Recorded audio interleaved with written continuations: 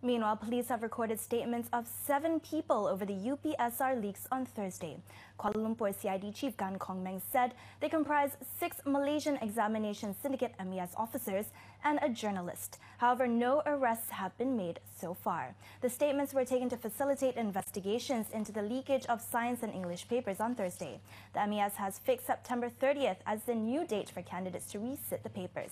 Yesterday, Deputy Prime Minister Tan Sri Muhyiddin Yassin had also announced that MES Director Dr. Na'imah Ishak and Operations Deputy Director Dr. Wan Ilias Wan Salleh were suspended with immediate effect until the investigation into the leakage was completed.